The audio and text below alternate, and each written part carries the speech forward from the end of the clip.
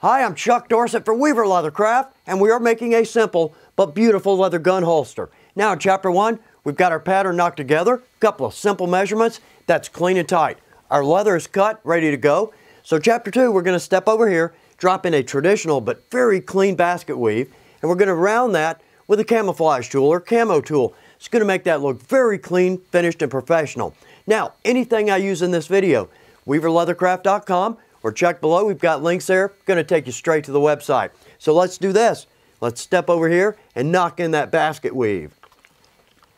Now, if you've got a little stamping experience and you've done a little stamping, you can certainly move forward. I'm going to go over just a couple of design notes for those of us who are new to stamping or want to add some stamping in for a design. First off, easy to do. Even the simplest design looks great. Now, on the basket weave, we've got multiple designs. We're going to use a traditional basket weave. It's got a rope design down the middle of it. There we go. Looks good. I can see every detail in that stamp head, even the shading. Very nice, but also too, we've got a very cool stamp, and I love this as well. It's got a cool little flower design in the middle. All right, we're going to go with traditional. Now, with our design, what I've done is taken, taken our pattern, and I've simply laid that out on another piece of paper. Now, a couple points here. First off, we could absolutely go basket weave all the way across the gun. I prefer not to because when we hit this bend, that impression is going to back out. Not completely, but it's going to be inconsistent between here and here, and I don't want that. But secondly, I want this cool little panel because right here, again, a design point, you can, you can basket weave all the way up behind that, but my point is I'm not big on having hardware in the middle of a design. So we're going to double the coolness there, right? We're going to make that parallel with our strap. And all you have to do to find out how your strap's going to come in, simply fold your pattern, put your gun in, and you'll see exactly the angle that strap line will be, okay? So we're going to go to the trouble to add a nice basket weave. Let's go to the trouble to work that in nicely. Now, with our holster, notice my basket weave is 90 degrees for my strap. Not big on that. Let's correct that on this holster and let's go in the direction of our strap. But secondly, notice here, I didn't do a very good job of working around my strap. Again, we're going to correct that.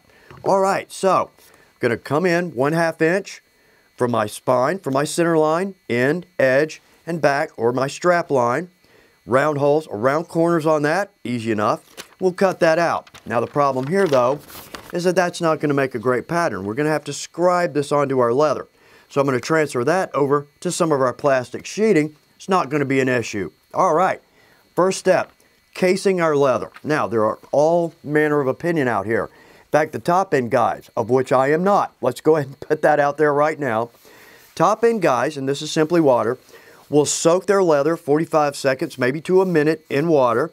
They may even add a dab of soap, dish soap, because that will break the surface tension. For me, I'm simply going to add water, multiple coats. Now, another good point here. Even if I'm tooling a small section, I'm going to wet the whole piece because that's going to alleviate the risks of a water line. Say we're using a lighter dye, that will alleviate that problem. All right, let's just add one more good coat here, and we're going to give that, let's say about 15 minutes. That's going to let that water wick in nicely. There we go. Okay, notice how my water, it's holding for just a second before it evaporates or, or wicks in. So let's give that about 15 minutes, let that become very consistent, and we'll add in our design. All right, we've given that about 15, maybe 20 minutes to dry. Now, some of the top grain water has evaporated. It's wicked in. Now, just in my opinion, I want a little dryness on the flesh side. Again, just my opinion, because to me, when I stamp this, I'm going to start to feel a little resistance on my stamp head. It's going to give me a very crisp, very clean stamp. It's not going to be mushy, all right? So let's take our design. We can certainly measure this out, but easy enough to eyeball there. Let's trace this in. All right, there we go. Good consistent line. Now, with this, two points. The, the pattern or the piece of leather is actually going to stretch a little bit when we add our design in there. In this situation, not an issue because we're going to cut our liner or, or glue our liner on overcut. We're going to cut that to our face. Then we'll drop in our welt, cut that to our face. So if we expand a little bit here, it's no issue. But if we're going to do the whole thing, we need to plan up front for that. All right, we've got our design dropped in. Now we're going to add what's called an anchor line. And we're going to run that parallel with our strap line. So I'm going to drop my straight edge in, square it on that line, and I'm going to draw in just a light line. This is going to disappear, but we need enough line there for us to be able to see. All right, very cool, easy enough. Now let's take our stamp. I'm going to start just anywhere on that line, but what I want to do is drop this edge, the inside edge, directly on that line. Now I'm going to use my pinky on the back side of that tool. That allows me a little fine tuning. So let's drop that in. There we go. Now, one good shot. There we go. That gives me a crisp stamp. Now, the pros, they're good at one shot. I lucked out. What I typically can do, now, also good point, if you're a little light left or right, I can easily feel that stamp sit back down in there. Maybe I can lean a little bit towards me, get a little deeper on this side. Now it is consistent. All right, cool, easy enough. Let's flip our piece around. Now I'm going to take the very corner edge of this tool and I'm going to drop it in right on the outside edge of our center design and again right on our line. There we go, multiple hits. Don't worry about that. Outcome is what we're looking for. Again, I might be a little bit light on this side, so there we go. Lean my tool a little towards me. Good. Now let's jump to the other side. Same thing, keeping that on our line. All right. We're starting to build a basket weave. Good. Now let's flip this around. I'm going to work my way in both directions, but we've got to note when we get close to our edge, we'll talk about that.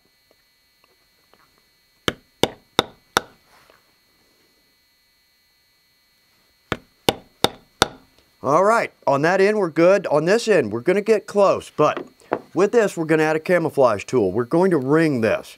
So therefore, I need about 3 eighths of an inch there. So let's take our tool and I'm going to lean back. Lean towards me.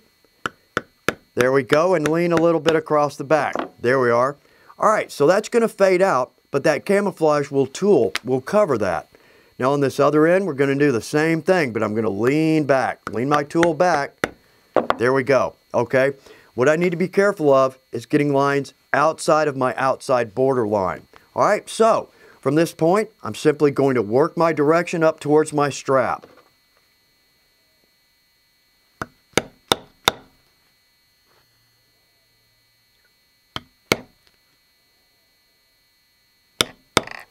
All right, we're working up towards our edge here, so I'm simply going to lean my tool in just a little bit. There we go, make it a little lighter on the outside edge. All right, well, it's starting to look good. Now, is it spot on perfect? Absolutely not. I look down, I can see a little bit of a waver, but here's part of it. First off, you know what? If it looks good to me, that's all that matters. Same with you. If it looks good to you, that's all that matters. But secondly, we're going to see every every mistake, every detail. Our end customer or the person we're going to give this to is never going to see that. They're going to see a beautiful, consistent pattern. All right, I'm going to work my way down from here. Then we'll add our camo tool.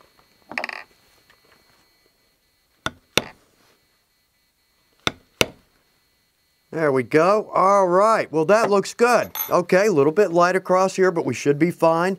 Same down through here. All right. Let's take our camouflage tool. Now I'm going to start right on my edge. Most, mostly almost a sunrise look. I'm going to put each point flat against my scribed line. There we go. Okay, looks good. And again, I can see every detail in that stamp head. So second strike, I'm going to put the right point in the left point. There we go, and I'm simply going to work my way around. Now, another design point. We've got round corners here because it's really hard to get a camo tool to sit nicely in a square corner. That's very tough, but with our round corners, it's going to look great.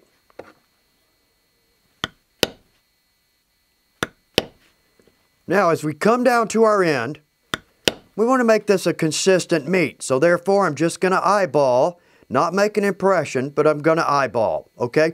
We're a little bit long. So all I need to do is I'm going to scoop my tool just a little bit further than where I would normally drop it. We'll never see that. But over the course of two, three, or four stamps, it's not going to be an issue. So let's spread him out just a little bit. And there we go. Well, you know what? That looks great. Very happy with that. clean and easy, but also too, how easy is that to do? And it looks spectacular. All right, follow me to chapter three where we're gonna, we're gonna glue in our liner, drop in our hardware, and work on our edges.